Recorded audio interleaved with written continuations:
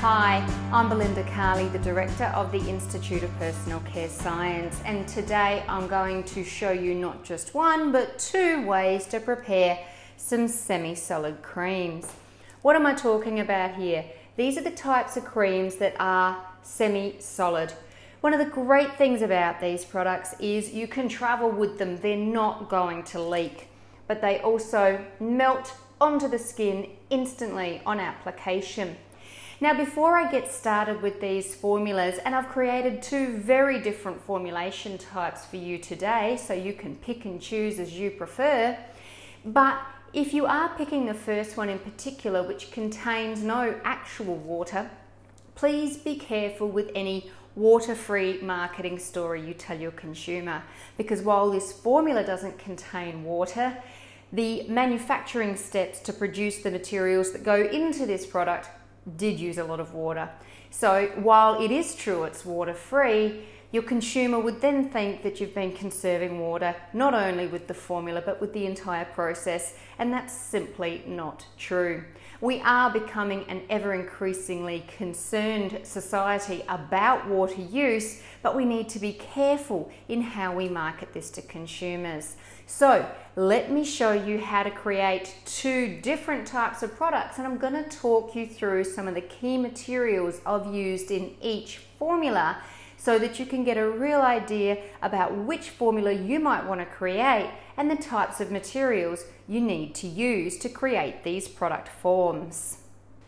For the first product, I'm going to be creating this semi-solid oil cream. Now this particular product contains 42% of very light skin feel lipids, but it also contains a very, very high input of glycerin. And this means that it is extremely moisturizing for the skin. It's balm-like in the amount of moisture and moisture protection it provides, but it has a very light skin feel, so it feels like a moisturizer even though its delivery is very much like a balm. So this is something that's great for extreme hydration. This is also technically water free because there's a very small water portion, but I've used rose water in place of the water. So again, you need to be careful about that marketing story. We don't want to mislead consumers, but I have made it to be free of actual water in its development. The other great thing about this particular product form is you can also dilute it. So this is a very concentrated balm and like I say when it's rubbed in uh, it becomes very very soft but dry feeling on the skin but we can also add a little bit of water to it and then it will spread a really long way so we can turn a balm into a body lotion easily and then it applies very readily as well. So I've already prepared my phases here. So I've got my phase A materials again you can see it's just rose water with some glycerin.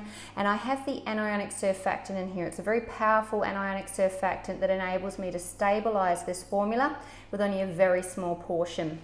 In this beaker I have my phase B materials. Now in here I have non-ionic emulsifiers. They're going to help build that body. I also have a lot of very light skin feel emollient. In this formula I've used LexFeel Natural. Uh, these are quite readily available materials in this formula and it is all natural materials I've used in this formula as well to really boost that marketing message. So I'm just going to heat these up now these do need to be heated until they're melted and then they'll be combined. While they're heating, I'm going to show you the second product. Now this one here again is that real semi-solid cream-like product, but this one actually does have a very high water content.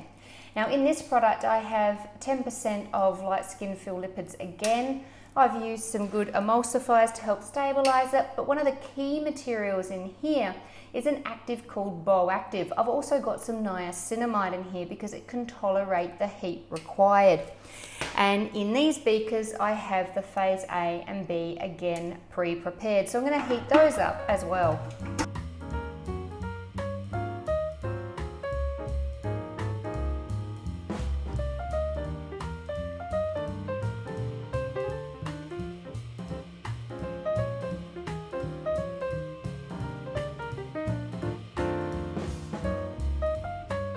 Now this is the first product, the one that contains the high proportion of glycerin and oils. And we need to be careful that we don't introduce too much air into this product. So in a larger batch, very easy to achieve. In a smaller batch, be careful not to introduce too much air during mixing. Now it's really careful that you mix the phases really well.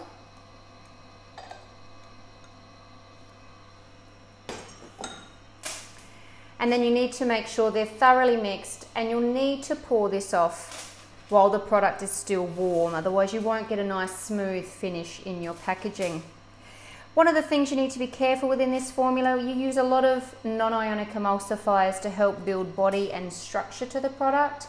You need to make sure you also use a heat tolerant preservative because it needs to be added while the product is still quite hot. And that's actually in this product already during the heating step. You'll notice I'm keeping the stirrer well below the surface of the product to make sure that we don't introduce too much air. Now this is product two and this is the one that contains uh, quite a high quantity of water, around 82%. And I'm just adding phase B now. One of the reasons I'm showing you this particular formula is because it's so simple to create using materials you can readily get but it creates a product containing two extremely good actives. The Bow-Active material that actually helps solidify the finished product is actually great at minimizing pores and also reduces the appearance of age spots. Uh, and lightening age spots can be very difficult to do. So there's some fantastic efficacy data on this material, the Bow-Active, to lighten age spots.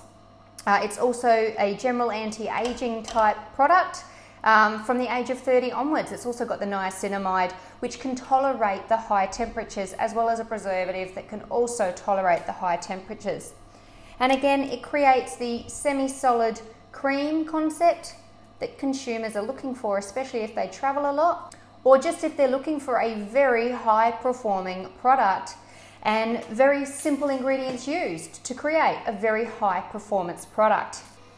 Again, because it will set into a semi-solid form, you do need to pack it off while it's still reasonably hot so that you get a smooth appearance on the top of the packaging. So here's our products here. You can see while still molten, still able to be poured off quite easily. And this is the day that we make them.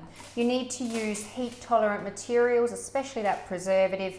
And in product uh, the second product's case, I've used actives that are also heat tolerant, so we've got a fantastic marketing story.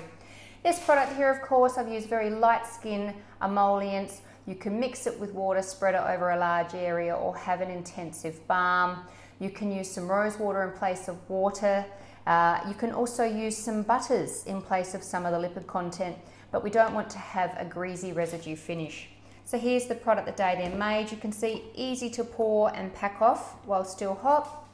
And here's the finished product, how they'll appear tomorrow. That convenient, semi-solid form that some consumers are now looking for. Well, there you have it. Two very simple ways to construct these semi-solid creams. A very natural option that you could build some other materials into. The key emulsifiers there help build the product form and functionality, so don't swap them out if you can help it. And product B, a very simple formula to construct with some great actives for a fantastic marketing story from very simple and readily available materials. I hope you've enjoyed this presentation and now it's time for you to get creative. Happy formulating!